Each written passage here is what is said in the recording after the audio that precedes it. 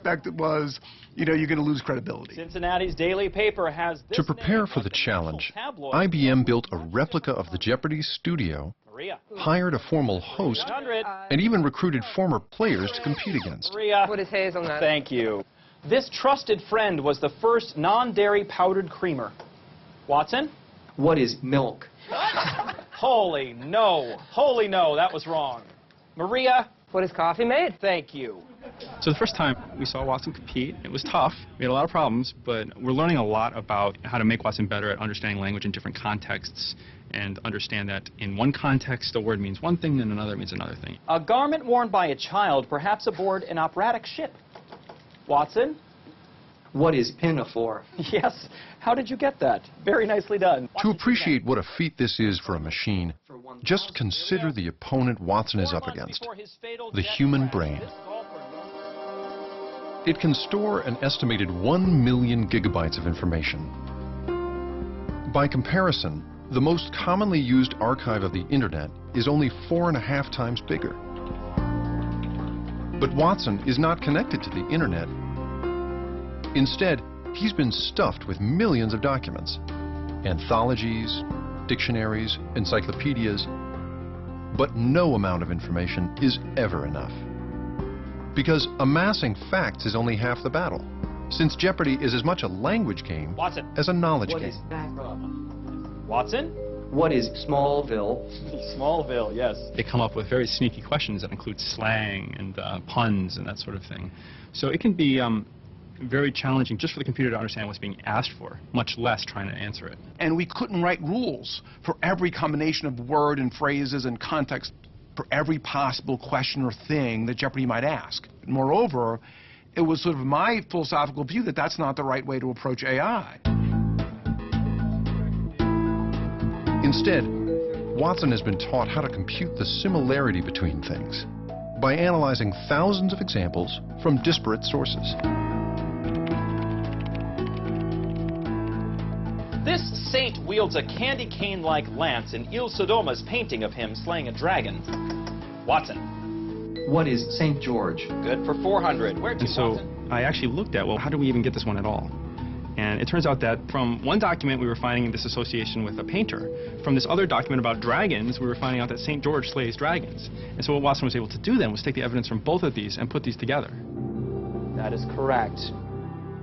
Watson was winning about 64% of his matches by the time I had the chance to try to beat him myself.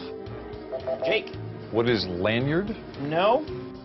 Refusing to imprison this man for demonstrating during the 1960s, de Gaulle said, one does not arrest Voltaire. To whom are we referring? Jake, did you come up with the right answer? You had $9,400. Let's don't take a look so. on your board. I don't See, what think did I you did say? Who is Albert Camus? No. Watson, it's all up to you now, my friend. You had $41,805. What did you write down as your correct response? Who is Jean-Paul Sartre? Yeah. That Right. is correct. I could- Man, he trounced us. Yeah, yeah. So, how does Watson do it? In part, by imitating the humans he's trying to defeat. When you think of Watson from a hardware perspective with all its cores, you know, all its processing units running at the same time and communicating with each other at different points, does it sound like the human brain? I think at that level it does. Our brains are experts at multitasking, firing billions of neurons simultaneously to solve a problem.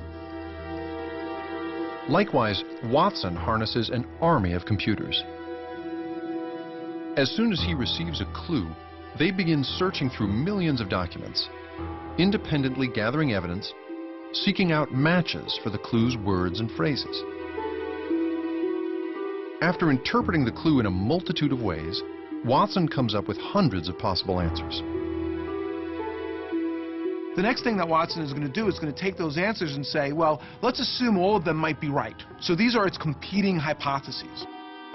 Once it makes that assumption, it takes each one and says, let me go and try to get evidence supporting this answer as the right one. In a sense, Watson makes an educated guess, processing hundreds of possible answers using statistics to see which one is most likely to be correct. And in the end, we get a list that says, here's the top answer, and we're 75% sure it's right. And that confidence is based on what we call an evidence profile, which gives you these scores that say, I like this kind of evidence, I like popularity evidence, you know, I like classification evidence, and all those things get added up to say, yes, I'm 75% sure I'm right, I want to buzz in. After Germany invaded the Netherlands, this queen, her family, and cabinet fled to London. Watson? Who is Wilhelmina? That is correct. Watson is the confirmed champion for this game. So does this amalgam of circuits and silicon really take us closer to the dream of a fully developed artificial intelligence? Can you speak Bocce? Of course I can, sir. It's like a second language to me. Surprisingly, even Ferrucci thinks we're far from that goal. I actually don't believe that, at least the way we program and develop computers today, you can actually create a human intelligence. For me, the question isn't how intelligent is a computer or, or how smart is a robot. It's how it acts in the world doing interesting things and stuff that we want done, and it's, it's, it's a total interaction.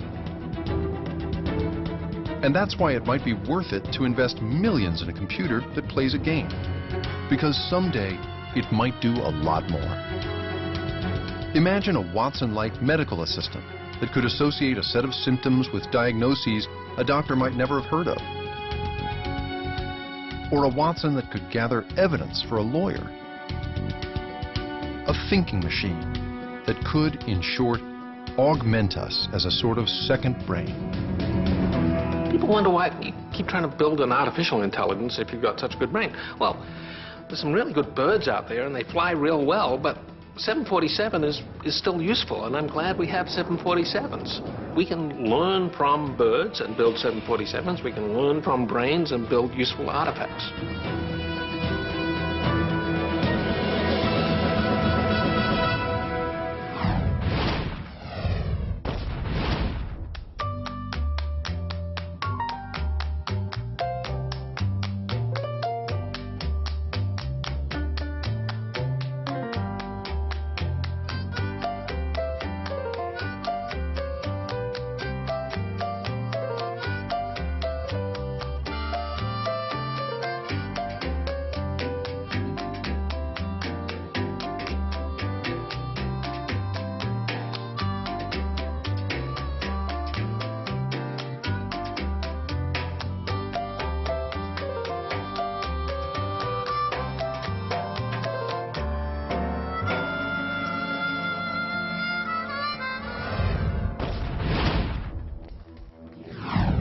Know our brains run on electrical impulses. Every time we move or make a decision, electricity's buzzing among our brain cells. So imagine if you could tap into that circuitry like you do with a TV remote.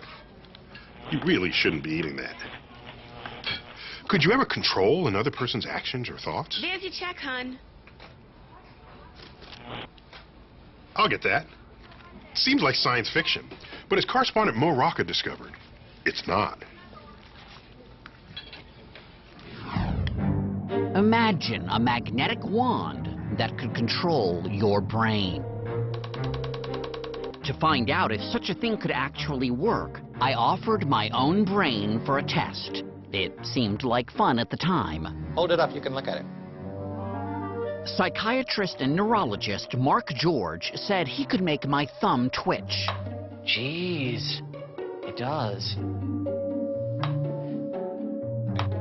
Oh, that was nice.